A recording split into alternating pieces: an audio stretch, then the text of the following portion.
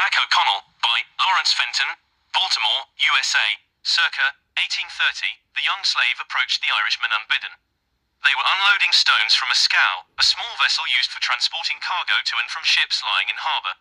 It was heavy work, but the boy, no more than 12 or 13 years old, was quick to help. He was a powerful youth and clearly familiar with the world of the docks. When they finished, one of the men asked the boy if he was a slave. I told him I was. He asked, are ye a slave for life? I told him that I was. The good Irishman seemed to be deeply affected by the statement. He said to the other that it was a pity so fine a little fellow as myself should be a slave for life. He said it was a shame to hold me. The Irishman told him to escape north. He would find friends there and be free. The boy feigned ignorance. White men, he wrote later, had been known to encourage slaves to escape, and then, to get the reward, catch them and return them to their masters. Nevertheless, the boy remembered the advice, resolving from that time to run away. Baltimore, on whose harbor this brief meeting took place, was one of the largest and most important cities in America, shipping grain from the Midwest and cotton from the South all over the world.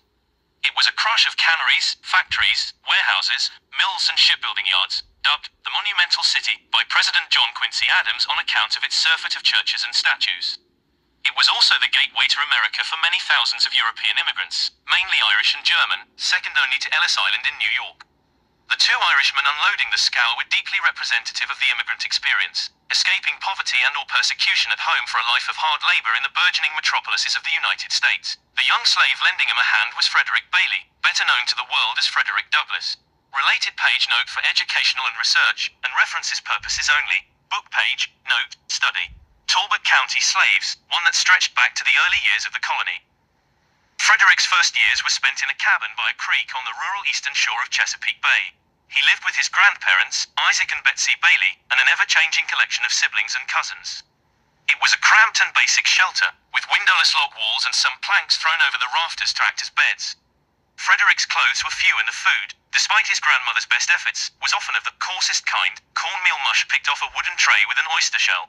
Yet Frederick's memories of this time were positively bucolic, the many hardships leavened by the thrill of being a child in the warm countryside, running wild through the trees, rolling in the dust and plunging headfirst into the muddy waters of the Tuckahoe Creek. Frederick's father was a white man, quite possibly his owner Aaron Anthony, a farmer in his 50s who was also a state manager at the nearby plantation, Wye House. His skin color, certainly, was of a far lighter hue than the rest of his family. Frederick's mother, Harriet Bailey, lived and worked on one of Anthony's farms a few miles away. Anthony owned about 30 slaves, spread over a couple of farms. He saw her rarely, for although the distance between them was not great, it was almost impossible for field hands to leave their place of work. The slave mother, Frederick wrote angrily in later years, can be spared long enough from the field to endure all the bitterness of a mother's anguish, when it adds another name to a master's ledger, but not long enough to receive the joyous reward afforded by the intelligent smiles of her child. Point three Harriet died quite young, when Frederick was six or seven years old, and the pain of never really knowing her was a source of lifelong grief.